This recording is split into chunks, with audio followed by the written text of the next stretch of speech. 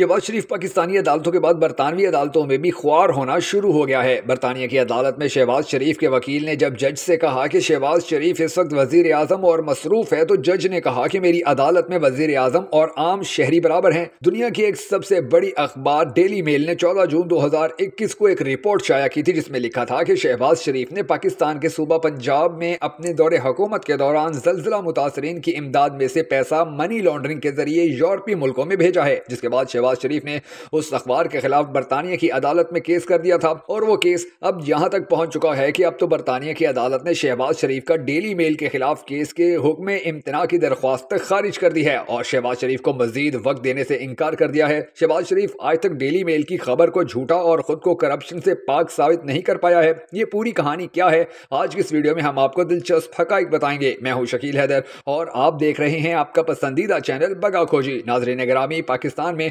नून league को इमरान खान ने हमेशा ही करप्शन करने वाली पार्टी कहा है और यही वजह है कि इंटरनेशनल लेवल पर भी नून लीग को करप्ट समझा जाने लगा है। आपके नज़दीक पाकिस्तान की सबसे करप्ट पार्टी कौन सी है? कमेंट सेक्शन में पार्टी का नाम हमें ज़रूर बताइएगा।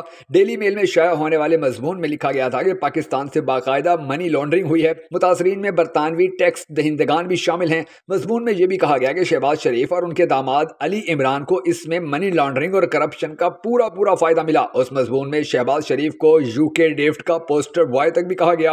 और ये वही दिन थे कि जब शहबाज शरीफ करप्शन केस में नैब की तरफ़ से सजा मिलने पर पाकिस्तान में जेल काट रहे थे। फिर जुलाई 2019 में शहबाज शरीफ की तरफ़ से डेली मेल पर केस किया गया और मुकदमा दायर होने के बाद कोइंस बेंच डिवीज़न ने अखबार और सहाफी को नोटिस जारी किया था, जिसको मरियम नवाज़ ने अपनी जीत बताते हुए ट्वीट कर दिया था कि मुझे लगता है बरतानवी जज साहिबान न गाड फादर फ़िल्म देखते हैं, ना ही नावल पढ़ते हैं और ना ही व्हाट्सएप का इस्तेमाल करते हैं। कैसे जज हैं ये? लंदन कोर्ट का फैसला सबूत है कि जब अदालत साकिब निसार की नहीं, बल्कि आज़ाद अदालत होगी तो इमरान खान और हवारियों को मुँह की खाना पड़ेगी और नीचे हैश दिया कि शहबाज शरीफ सुरखरू। और ये सारी बातें सिर्फ़ इसलिए लिखी गई कि वो मुकदमा दायर होने के बाद क्वींस बेंच डिवीज़न ने अखबार और सहाफ़ी को नोटिस जारी किया कि आपके खिलाफ एक मुकदमा आकर इसका जवाब दीजिए। और उसके बाद से लेकर आज तक शहबाज शरीफ उस अदालत के अंदर खुद को बेगुनाह साबित नहीं कर पाए हैं। और दूसरी जानब, वो पाकिस्तान के वज़ीर आज़म भी हैं। तो अब खुद सोचेंगे पाकिस्तान के कितने बुरे चल रहे हैं कि एक जानब